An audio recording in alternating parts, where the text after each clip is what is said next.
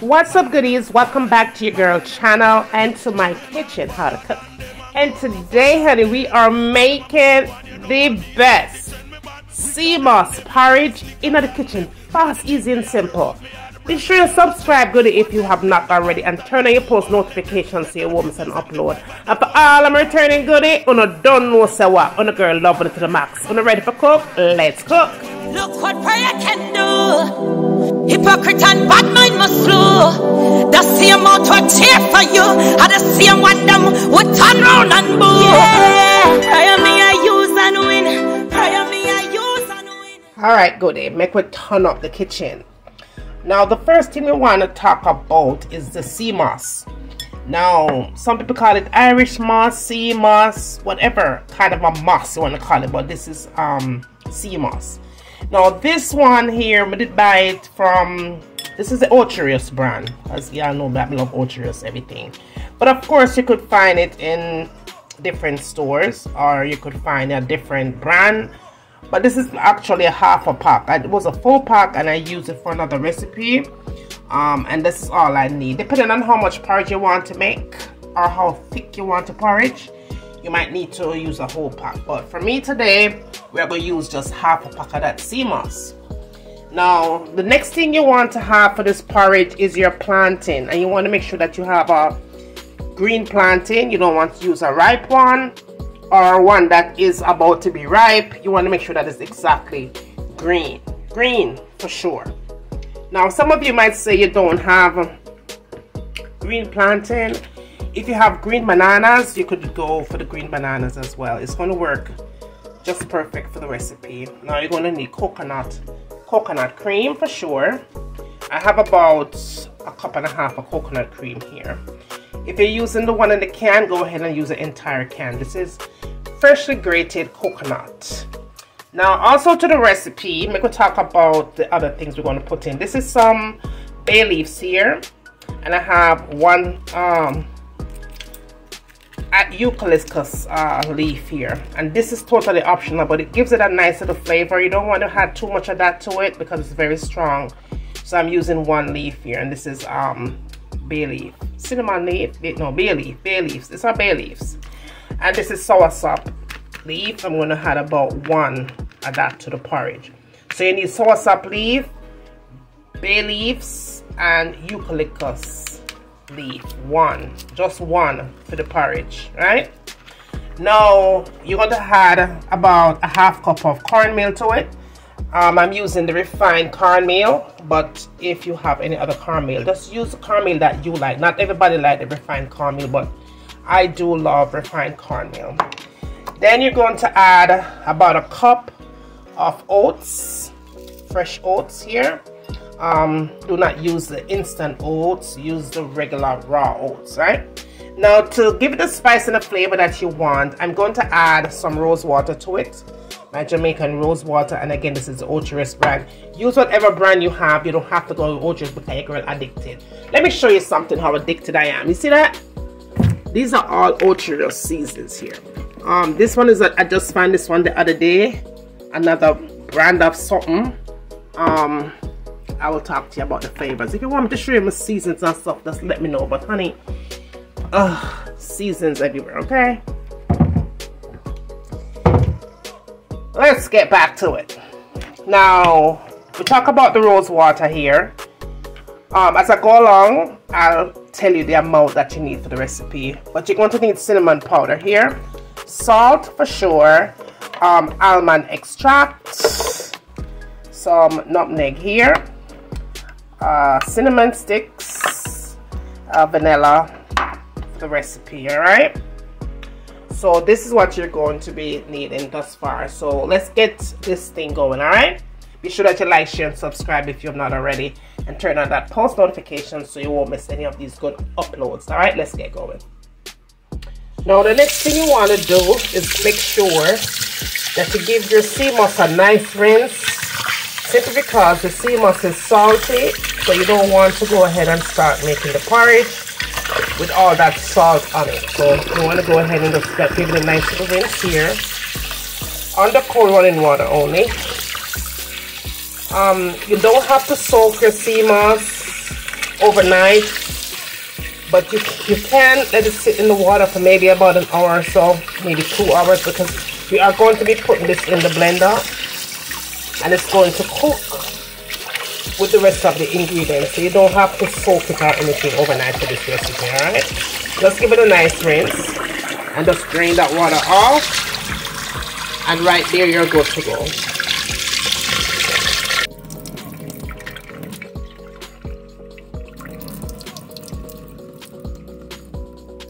Now for your plantain, all you're going to do is simply you're going to cut the ends off on both sides. Let me go ahead and adjust my camera so y'all can see what I'm doing here. All right all right so you just cut off both sides. Both side of the plantain just like that. Um give it a good rinse. I'm to give that a rinse that's off camera. So anyway we get a good rinse right? Now you don't want to peel off the skin of your plantain. And even if you're cooking you're going to use green bananas you don't want to go ahead and peel it. You're going to cook this porridge with the skin on on the banana or the plantain. Do not remove it okay? Looks like that. For those of you that don't know what the green plantain looks like. And in Jamaica green plantain is one of them things that we will love. Jamaicans love green plantain. It makes some of the best recipes ever. And we love to fry it with saltfish and callaloo and you just name it. Ackee we love green plantain. Just boil it and eat it with chicken or brown stew or whatever, even curry. It's one of those um, fruits that are uh, vegetables rather that we just can't do without. Jamaicans can't do without plantain, fried plantain whether it's ripe or whether it's green. This makes one of the best porridge so we're to add it to our sea moss today. Okay? So basically that is what we have here. You want to go ahead and add this to the blender. Now, if you don't want to go blender like I'm doing here, right? You just go ahead and grate this. You can, in fact, grate your plantain or your banana if that's what you're choosing to use. Now, after you have had that to the blender, bring it back up. So, you're going to add the sea moss to it sea moss, Irish moss, whatever you want to call it, y'all. You go ahead and add that to it. And then all you have to do is use the, the coconut milk here, the coconut milk, coconut cream. That is a cup and a half. But I want to bring it up just a little bit more, so I'm going to add a little bit more water. And again, you could just go all coconut cream here, right? That's pretty good. I'm going to go ahead and blend this up and let you see what it looks like when I'm done with that method.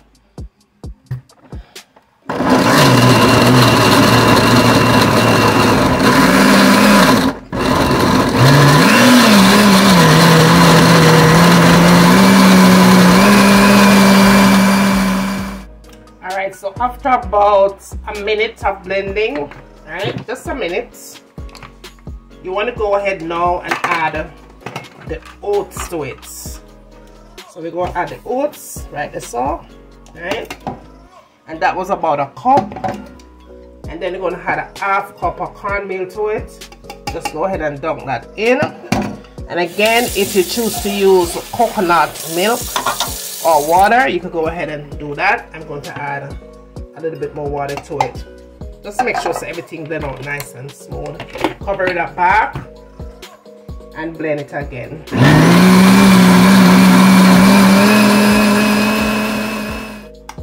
Just mix everything around. Just make sure so everything gets all up in there. Everything is nice and smooth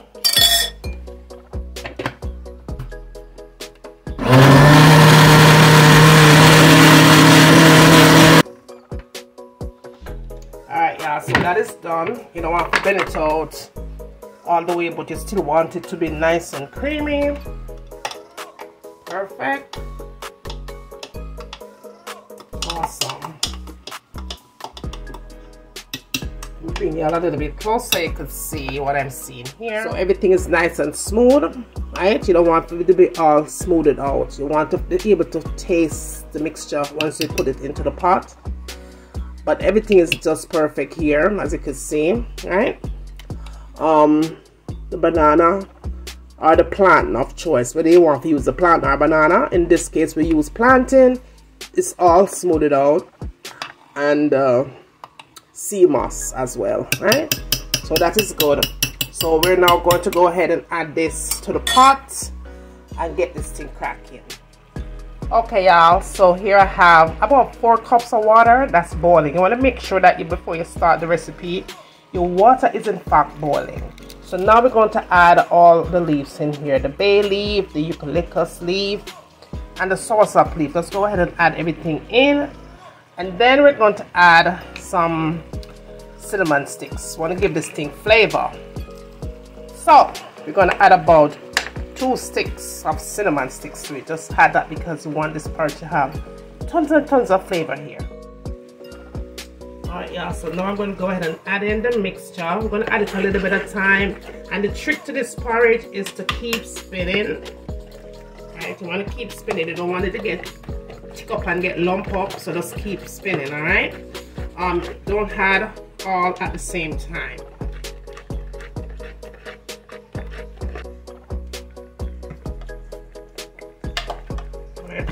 The rest of it in and just keep mixing. Now it is going to start to thicken up. So you're going to go ahead and add water to it all right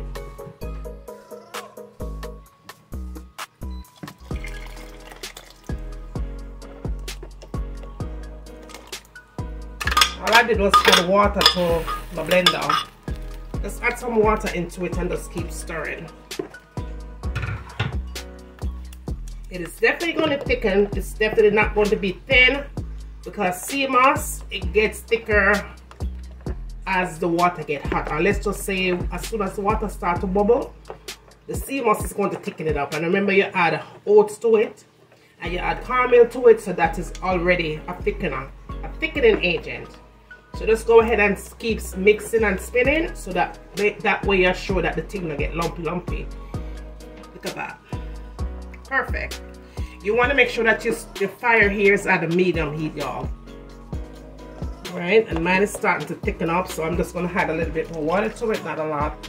Like I said, um, this is not no really measurement to your porridge, how you make it, as far as uh, the amount of water that you put to it because it's going to be up to you as far as how thick you want it. And the longer you boil the porridge is the thicker it's going to get.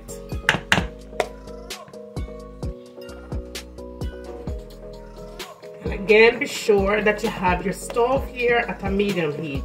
Already it's starting to get thick. Even after a minute of boiling it's starting to get thick already. Let me show you guys.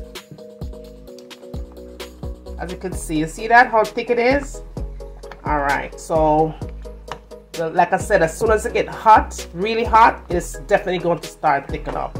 So it's up to you to know how thin you like your porridge. Some people like their porridge thick, very thick, and some people like them porridge in the medium bracket, and some people like it very watery. Me, I don't like it thick like this, and I definitely don't want it to be watery. So I'm going to add some more water to it. Now, if you don't want to add water, you could add some more coconut cream, like I said, or you could add your favorite um, milk of choice. Like if you want to add cow's milk um, almond milk whatever kind of milk that your stomach can tolerate you could go ahead and add that. But we're going to add some more water here. So we add some more water and I'm see I have a cup but I'm not adding all of it at the same time because I'm not trying to ruin the texture right? I just want to adjust the thickness y'all this thing smells so good already and I didn't even put the spices in yet and it's already smelling amazing the banana I could actually smell the sea moss oh my goodness it smells so nice so make sure you have your fire pan low to medium heat, okay? Look at that, y'all. My goodness. We could go ahead and add the spices to it and then add some more water again as needed. So here I'm adding some salt. Um, I'm just going to add just salt right there as needed. And as I go along and cook it up, then I'll know if I need more. And this is nutmeg. Right. I will definitely list everything that I use for the recipe, y'all. And then this is um, vanilla like I said I'm just gonna go ahead and add now and if I need to add anything later I'll definitely do that this is rose water it gives it a nice little flavor there the rose water and then I'm going to add the, the cinnamon powder for sure. And of course we're adding some almond extract here just a tad bit of that because the almond extract is very strong. Give it a nice little mixing y'all. Really really good. Look at the texture of that. It's coming along awesome. Nice and now I'm having the smell the aroma that's coming from it look at that oh my goodness We talk about healthy right to so that goodie right to so look at that Look at that. Wow. Perfect. Right? So I'm another half a cup of water. Just a little bit remaining. I'm just to add that to it. Right? And so like I said, just go ahead and just um, make the texture your own, right? I'm to go ahead and um, cover it up, right? I'm not to add anything more to it until the plantain is cooked the cornmeal is cooked and everything comes together and again my fire here is at a medium heat so when everything comes together then I'll know if I need to adjust flavoring right but right now goodie right so there. Look at that. Perfect. Oh my goodness this I think I'm liking this um, texture here. It's not too thick and it's definitely not running here. Right so we're going to cover this up. As a matter of fact, don't cover it up too tight. When you put the, the lid on, you're going to crack it. Crack it, right?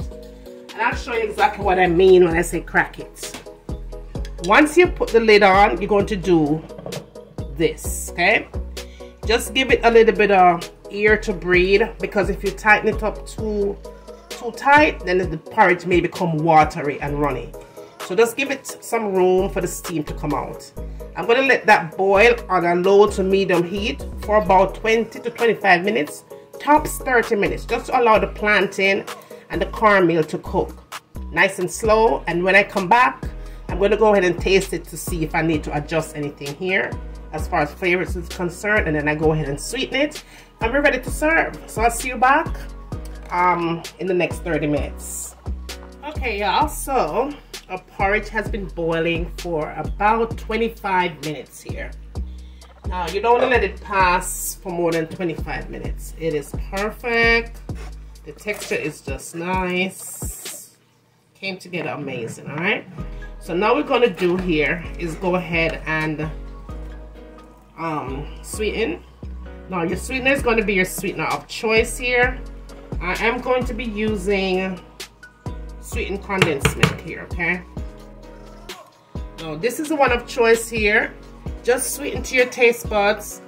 Um, I'm making a lot here. Almost a whole pot of porridge, so I'm going to use the entire can here. And believe me, it is not as sweet as you guys think. Alright, but just make your taste buds your own. Um, and sweeten. Now, again, after you've had, when you're adding your sweetener into the porridge, you want to go ahead and turn your fire off here. If you don't, then the porridge will possibly become very watery here. So of course you want to go ahead and turn it off once you get ready to sweeten the porridge. Now another thing that you guys need to know with this particular kind of a porridge because you have your sea moss in it, just know that when the porridge comes cold, okay, when the porridge starts to get cold or cooler let's say, it is definitely going to thicken because of the sea moss. This right here is all sea moss right here. That is the best part of the porridge, honey. The sea moss. Right there, that's sea moss, right? So this is going to become nice and thick, okay, for the porridge. Look at that. Oh my goodness. Y'all, if you ever smell this porridge, y'all. This porridge is good with fried dumplings, bread and butter, crackers and butter, you name it. Awesome. Sea moss porridge good for the back, for the man them. Hmm. if the woman them want have a baby, I eat this right as so. Sea moss porridge, right?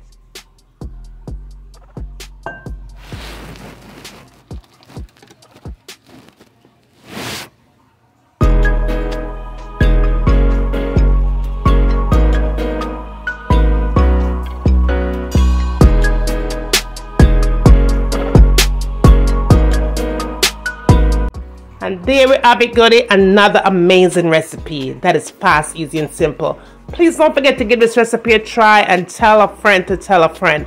Tell them what's going on over here, man. Bring them, come and send them, come. I'm waiting. And when you get done doing that, tell them what I want to see me cook next. In my kitchen. And remember, as always, from my kitchen to your kitchen, enjoy!